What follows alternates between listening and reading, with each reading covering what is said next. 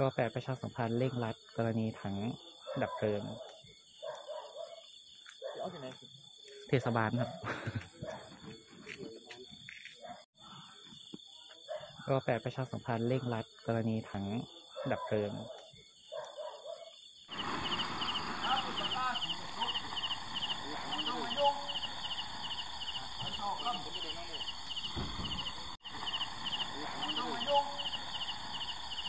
เ